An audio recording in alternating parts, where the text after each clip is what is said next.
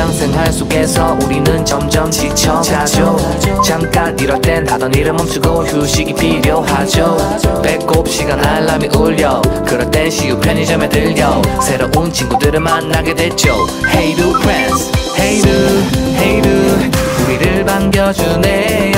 Hey do Hey do 하루야 정말 반가워. Hey do Hey do 이젠 언제 어디서나 you some a nice sweet Joe. She you.